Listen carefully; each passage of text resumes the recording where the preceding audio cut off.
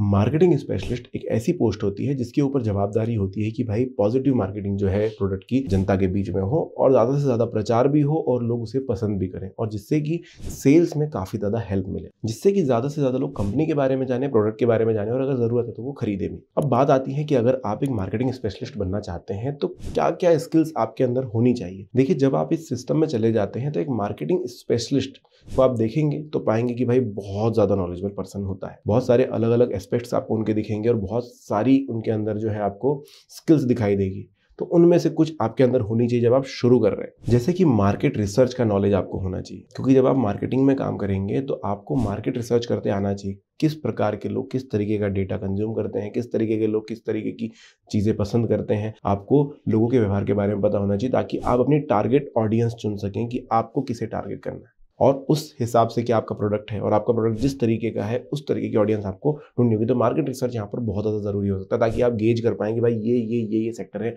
जहाँ पर मैं मार्केटिंग कर सकता हूँ। ना आप समझिए कि रेगिस्तान में रेत बेचने निकलेंगे तो फिर क्या ही हो जाएगा? तो मार्केट रिसर्च यहाँ पर बहुत बड़ा जो है योगदान निभाता है मार्केटिंग स्पेशलिस्ट के लिए। तरह तरह के सर्वेज करने आपको आने चाहिए। अब ये नहीं कहूँगा कि आपको खुद जाके सर्वे करने हैं, पर आप कंडक्ट कर सकें, आप उसके लिए डेटा ढूंढ सकें अलग अलग सर्वेज अगर हुए हैं तो उनका डेटा निकाल सकें और उसको रिसर्च कर सकें, ये आपको आना चाहिए। डेटा को एनालाइज करते आना चाहिए। अब आपने डेटा तो निकाल लिया, लेकिन उसको एनालाइज करना है, समझना है कि क्या क्या आपके टारगेट एरियाज़ होंगे, किस जगह पर कितनी सेल आप कर सकते हैं किस तरीके का कैंपेन आप कर सकते हैं तो मार्केटिंग ज़्यादा अच्छी हो पाएगी, उतने ज़्यादा अच्छे, उतने ज़्यादा से ज़्यादा लोगों तक तो आप पहुँच पाएँगे। ये निकालते आपको, आना चाहिए। कंटेंट मैनेजमेंट सिस्टम के साथ प्रोफिशियंसी होनी चाहिए। देखिए, आप एक मार्केटिंग स्पेशलिस्ट है तो आप ये निकाल सकते हैं कि भाई किन किन जगहों पर मार्केटिंग करने की ज़रूरत है क्या क्या तरीके आप इस्तेमाल करने वाले हैं। लेकिन आज के समय में सबसे ज़्यादा जो चलता है वो है डिजिटल मार्केटिंग क्योंकि यहाँ पर लोगों तक पहुँचना काफ़ी ज़्यादा ईजी है। हर एक इंसान अपने हाथ में फ़ोन रखता है, आप सोशल मीडिया के माध्यम से उन तक पहुँच सकते हो। तो ऐसे समय पर आपको अलग कंटेंट बनाना होगा। आप समझिए आप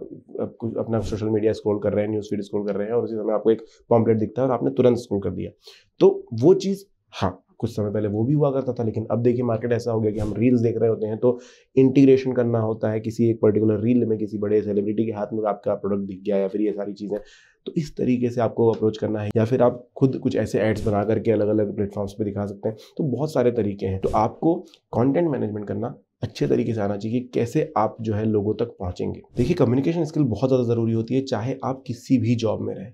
तो अगर आप अच्छे तरीके से कम्युनिकेट कर पाते हैं, आप अपनी बातों को सही ढंग से रख पाते हैं, सामने वाले की सुन अच्छे से सकते हैं और एक सही तरीके से वो कम्युनिकेशन हो सकता है तो ये आपके लिए हमेशा बेनिफिशियल होगा। एक मार्केटिंग स्पेशलिस्ट को अगर आप देखेंगे तो उन्हें बहुत सारे लोगों से बात करनी होती है। आपको बहुत सारी अलग अलग टीम्स भी हैंडल करनी है, आपको बहुत सारे लोगों से मिलना भी है, बहुत सारे लोगों को अपने आइडियाज़ भी समझाने हैं। ठीक है, जैसा मैंने कहा था कि आपको क्रिएटिव होना है, आपके आइडियाज़ जो है आएँगे तो आप सभी को अच्छे से समझा सके। प्रेजेंटेशनल स्किल आपकी काफ़ी अच्छी होनी चाहिए। आप प्रेजेंट कर सके, आपने क्या आइडिया बनाया है और लोगों से बात कर सके उस बारे में कि भाई किस तरीके से इसे अब जो है एग्जीक्यूट किया जाएगा इस प्लान को। ये स्किल आपके अंदर होनी चाहिए। मार्केटिंग स्पेशलिस्ट के तौर पर आप समझिए कि आपका प्लान आपको यहाँ पर प्रेजेंट करना है और इस प्लान के अकॉर्डिंग जो आपका प्रोडक्ट या आपकी सर्विसेज़ जो है लोगों के सामने प्रेजेंट होगी। तो आपसे काफ़ी ज़्यादा प्रोफिशियंसी कम्युनिकेशन में प्रेजेंटेशन में एक्सपेक्ट की जाती है। क्रिएटिविटी आपकी काफ़ी अच्छे लेवल की होनी चाहिए। ऐसा इसलिए कह रहा हूँ कि आज के समय में लोग बहुत ज़्यादा तेज़ी में रहते हैं, बहुत ज़्यादा जल्दी में रहते हैं, लोगों को नहीं टाइम इधर उधर वेस्ट करना होता है। हम नहीं खड़े होते हैं आज वो बैनर के ऊपर देखते हुए कि बहुत ज़्यादा इन्फॉर्मेशन लिखी हुई तो पढ़ लेता हूँ। हम सिर्फ़ तब खड़े होते हैं जब हमें बहुत ज़्यादा इंटरेस्टिंग दिखता है।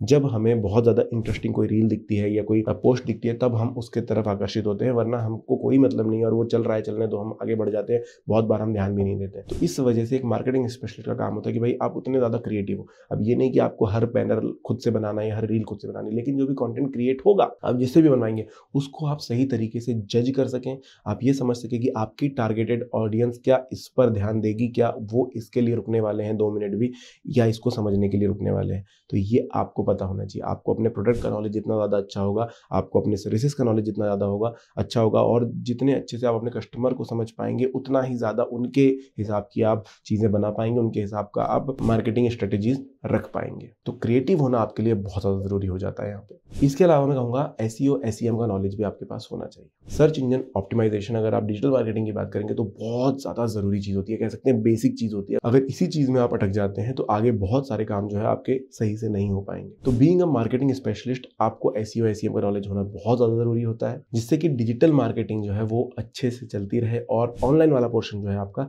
सटीक तरीके से लोगों तक पहुँचता रहे। तरह तरह के कैंपेन जब हम करते हैं कि भाई सोशल मीडिया के थ्रू हमने कैंपेन कर दी, हमने ये भी करवा दिया हमने बैनर भी छपवा दिया उसके बाद अगर रिज़ल्ट आ रहे हैं तो पॉजिटिव्स कितना आ रहा है, हमने कितना एक्सपेक्ट किया था, कितना पॉजिटिव हमें मिला है, कितना हम नहीं कर पाए हैं, कहाँ पर फेल हुए हैं, कहाँ पर हमें एक्स्ट्रा मिल गया ये सारा डेटा एनालाइज करते आपको आना चाहिए ताकि आप और अच्छी स्ट्रेटेजीज बना सकें। अगली बार ये सारे सेक्टर जहाँ पर हम फेल हुए उनको कवर किया जा सके। ये सारा काम होगा एक मार्केटिंग स्पेशलिस्ट का। इसके अलावा दोस्तों एक मार्केटिंग स्पेशलिस्ट को सीआरएम का नॉलेज होना भी बहुत ज़्यादा ज़रूरी है।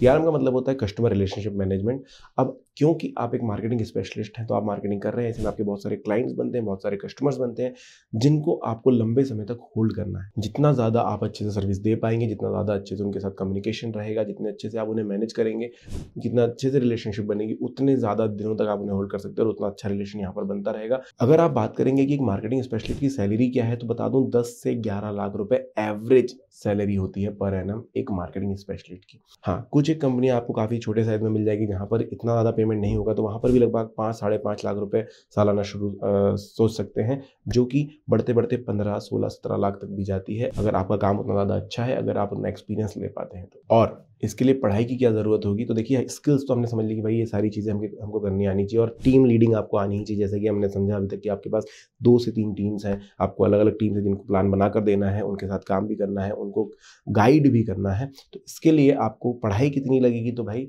पढ़ाई लगेगी आपको। मार्केटिंग, कम्युनिकेशन या रिलेटेड फ़ील्ड में आप बैचलर्स हो कम से कम। साथ ही साथ आपको एच का नॉलेज हो, आपको एडोब एक्रोबेट का नॉलेज हो, आपको सॉफ्टवेयर्स जो है वो चलाते आने चाहिए अलग अलग प्रकार के जो कंटेंट क्रिएशन में यूज़ होते हैं, ताकि आप सभी के काम को अच्छे तरीके से सुपरवाइज कर सको, आप सभी को अच्छे तरीके से गाइड कर सको। और ऑब्वियसली जो भी आपके क्लाइंट है, उनको भी उस चीज़ का फ़ायदा मिलता रहेगा। तो ये है दोस्तों एक मार्केटिंग स्पेशलिस्ट के स्किल्स उसकी सैलरी के बारे में मैंने आपको बताया। अगर आपको अभी कोई सवाल आते हैं तो आप कमेंट सेक्शन में पूछ सकते हैं। वीडियो कैसा लगा, ज़रूर बताइएगा। Thank you